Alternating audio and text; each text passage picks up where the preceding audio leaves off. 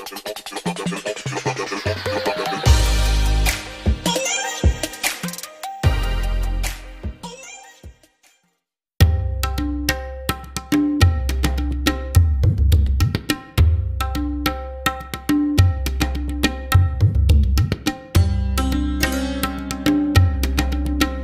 up, what's up guys? Matagal tayong hindi nagkita.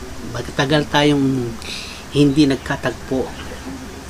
Pero lagi tayong magkakaroon ng chance upang magkapag-usap uli. Cherry. Ito guys ha, unboxing tayo ngayon coming from Lazada and Shopee. So i-unbox natin ay traveling bag. Tapos, uh, Corel Large Lockable Cosmetic Organizer Box at ang Morph 350 two colors. I don't know what that means pero yun ang kanyang code 3502 colors. Okay? Yun, konti ng review natin kasi nga magkakaroon tayo ng another vlog for that para naman sa comparison ng Passion 21 at saka yung Morph eyeshadow. Tingnan natin kung alin ang pigmented, no? Pero mamaya titignan na rin natin kung pigmented siya without comparison sa other brands, okay? Nahin muna natin ay ang traveling bag. Siya, guys. So, ito ay galing sa Shopee. Korean Fashion Traveling Bag. Okay? Dati itong 350 ngayon 262 na lang so cash on delivery siya coming from Shopee ito na natin ito yung ginagamit ko kapag meron akong service uh, katulad ng gupit at iba pa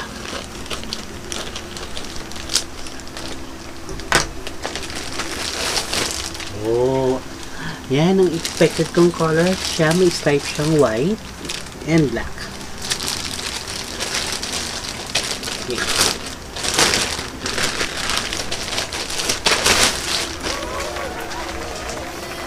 Hmm, ang suka.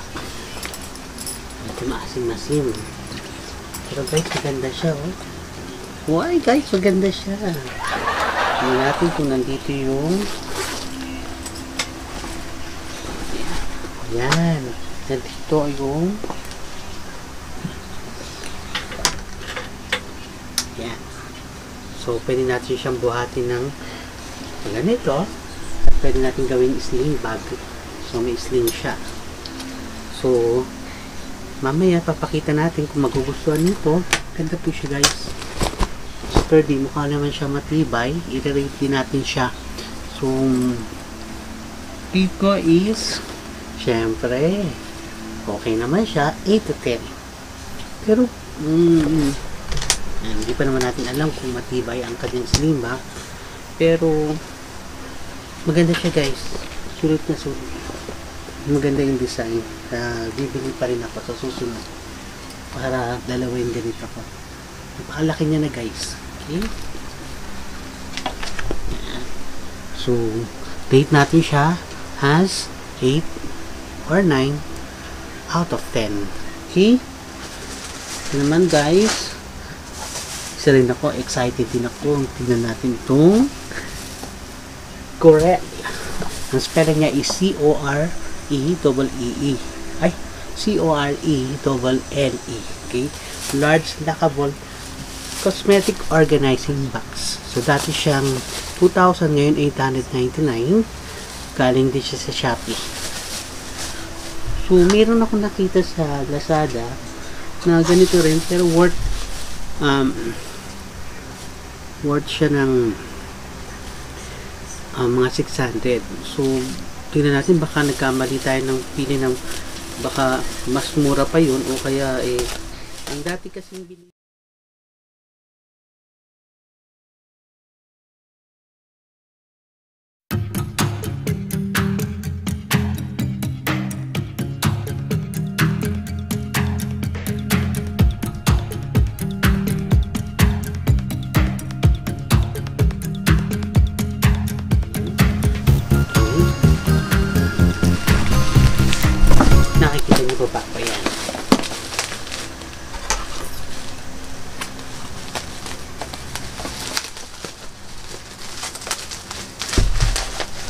Hindi maganda siya. Ito ko yung kulay niya.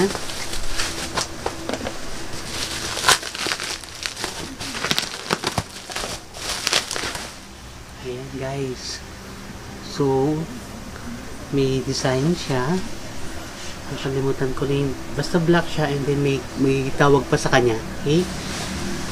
Natin ha. Ang loob.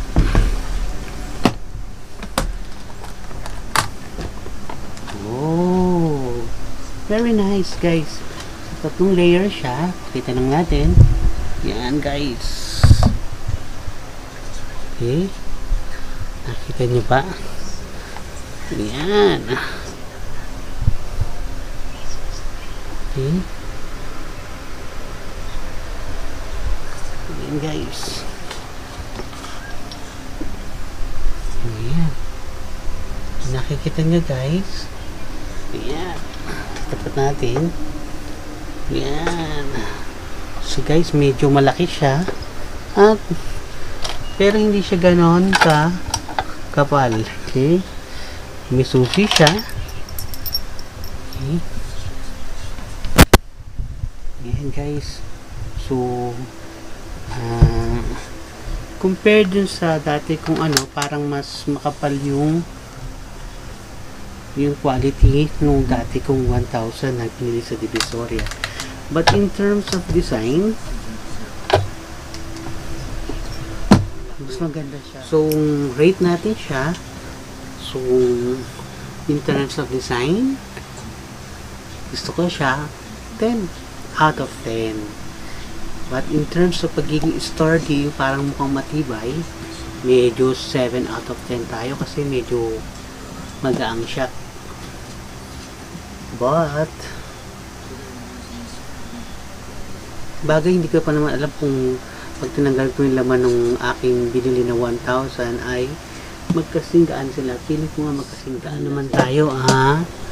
Hmm, ang ating Morph 3502 Okay. So, eto, dati siyang 588. So, naging 137 na lang siya. So, magkakaroon tayo ng review nito. Yung full review nito, i-compare natin sa Passion 21 and other product. Buksan na natin siya. Let's see, guys! Yan. Mhm. Okay.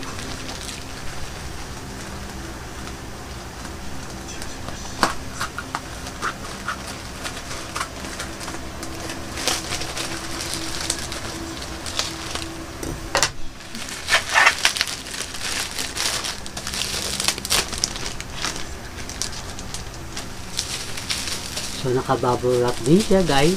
Para hindi sumabaw ang mga palette na nasa loob. Yung mga eyeshadow. So,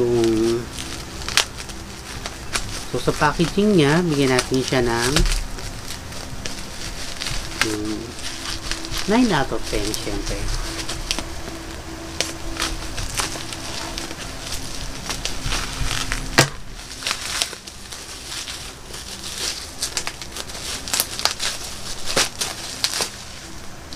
Guys. See? Meron na tayong mark. Okay, guys. Let's see. Hmm. Hmm. Okay. Ito yung mga dream eyeshadow palette ng mga makeup artists. Yan. Oh, bakit meron ng powder sa loobas? So, medyo kung mapapansin ninyo, mayroon ng powder sa loob sabihin, baka nabagsak to. So, tingnan natin kung sana hindi. Yan guys, buo naman siya guys. Okay. Guys, tingnan natin. Yan. Ayan guys. glossy. So, meron naman siyang film, ang tawag dyan. Ayan, guys. So, mga palette niya, more on brown side, more on neutral. So, meron din naman siya mga glossy. So, tingnan natin kung maganda ang kanyang pigmentation. So, try natin ang brown. Ayan. So, guys, kung makikita nyo, ayan, maganda naman siya. Ayan, guys. Dito na lang, para mas makita. Ayan, guys. So, kitang-kita naman siya. Okay? And then, check natin ang iba pang palette. Try natin yung red or pink.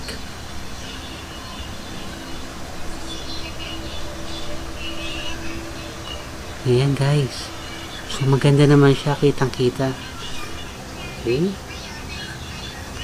Tignan natin itong golden brown. Ayan guys, nakita nyo? Konti lang siya, pero kitang kita na. So, bibigay natin siya ng 9 out of 10 guys. So, hindi ko na-expect to guys kasi ang in-expect ko, pucho-pucho lang siya at hindi siya, kumbaga, ilang beses mo ipahit para lang makita yung palette niya. So guys, recommended ko siya. 9 out of 10 guys. So, bibili pa ako dito do sa kung saan kung saan ko man siya binili na distributor or dealer. Okay? So, that's it guys. Um, um, sa susunod, eh, review naman tayo nito more on uh, comparison sa ating ibang local products katulad ng Passion 21. Okay? Thank you guys.